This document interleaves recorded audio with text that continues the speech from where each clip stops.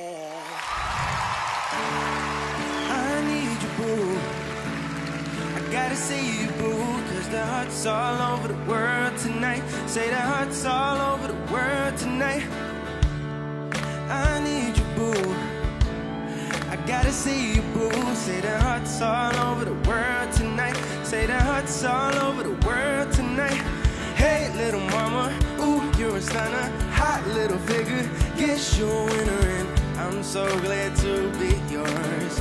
You are one of a kind, and ooh, little cutie, when you talk to me, I swear the whole world stop. You're my sweetheart, and I'm so glad that you're mine.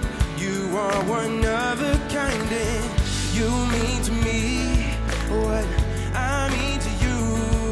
And together, baby, there is nothing you won't do. Cause if I got you, I don't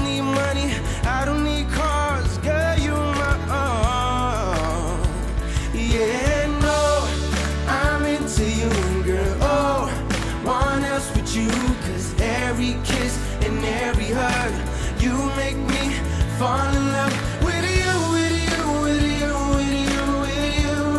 Oh, uh, with you, with you, with you, with you, with you, yeah, yeah.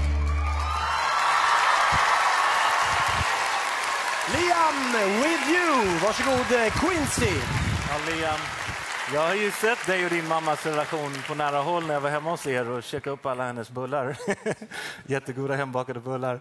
Och vad heter det? Jag vet att ni har en väldigt speciell relation och, ehm, och på grund av det vet jag att du verkligen menar det du sjöng just nu och jag trodde verkligen på det. Och det är det det här handlar om, så det var jättebra jobbat. Tack så mycket. Shout out to your mom, man.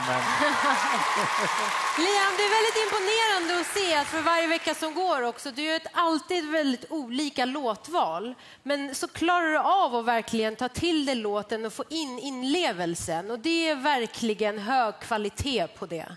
Fantastiskt. Tack så mycket.